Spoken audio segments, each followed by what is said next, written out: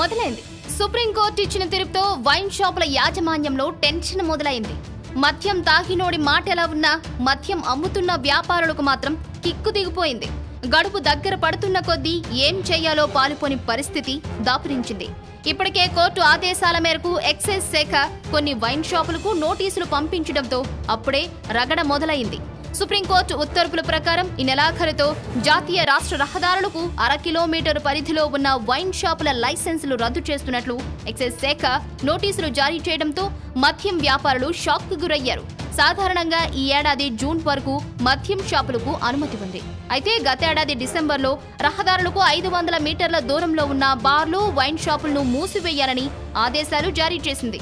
ఈ నేపథ్యంలో గడుపుకు మూడు నెలల ముందే దేశవ్యాప్తంగా రోడ్ల వెంట ఉన్న మద్యం షాపులను మూసివేయక తప్పడం లేదు.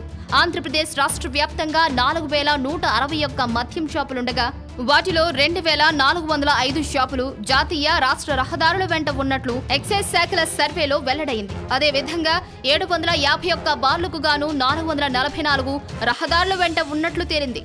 సుప్రీంకోర్టు ఆదేశాల మేరకు ఈ రెండింటిని నెలాఖరులోపు తొలగించాల్సి ఉంది. అయితే బార్ యజమానులకు నెలాఖరు వరకు లైసెన్సుల గడువు పొడిగించడంతో వాటి తొలగింపునకు ఎలాంటి ఆటంకం లేదు. అయితే మరో మూడు నెలల గడువున్న మద్యం షాపుల యజమానుల పరిస్థితి సందిగ్ధంగా మారింది. ఇదిలా ఉంటే supreme court attorney general Mukul Rohatgi Kerala ప్రభుత్వానికి చేసిన సూచనలు బార్ యాజమాన్యాల్లో ఆశలు రేకెత్తిస్తున్నాయి. సుప్రీంకోర్టు తీర్పుపై కేరళ ప్రభుత్వం అటార్నీ జనరల్ను సంప్రదించి సలహా ఇవ్వాల్సిందిగా కోరింది.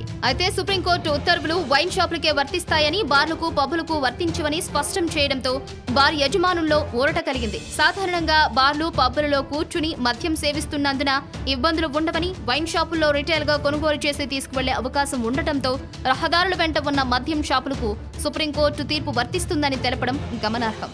ఇదంతా బాగానే ఉంది. జాతీయ రహదారుల పక్కన వైన్ షాపులను తొలగిస్తే ప్రమాదాల సంఖ్యను నివారించవచ్చు. డ్రంక్ అండ్ డ్రైవ్లు కూడా తగ్గుతాయి. అయితే రాష్ట్ర ప్రభుత్వాలకు ప్రధాన ఆదాయ వనరుగా ఉన్న వైన్ షాపులు బార్లపై సుప్రీంకోర్టు ఆంక్షలు విధించడం మింగుడు పడటం లేదు. ప్రత్యామ్నాయ మార్గాల కోసం ప్రభుత్వం అధికారులతో చర్చిస్తోంది. సుప్రీంకోర్టు ఉత్తర్వులపై ఇతర రాష్ట్ర ప్రభుత్వాలు వ్యాపార ప్రతినిధులతో పాటు రాష్ట్ర ప్రభుత్వం కూడా స్పెషల్ లీవ్ పిటిషన్ను దాఖలు చేసింది.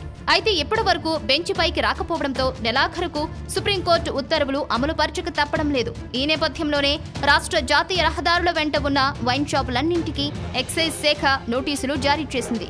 మరి ఈ నిర్ణయం తూచా తప్పకుండా అమలు జరుగుతుందా? లేక న్యాయ వ్యవస్థ నిర్ణయంలో శాసన వ్యవస్థ జోక్యం చేసుకుని మరో ప్రత్యామ్నాయాన్ని తెరపైకి తీసుకువస్తుంది వస్తుందా అనేది వేచి చూడాలి. Thanks for watching one India Telugu for more details please subscribe one India Telugu don't forget share and like thank you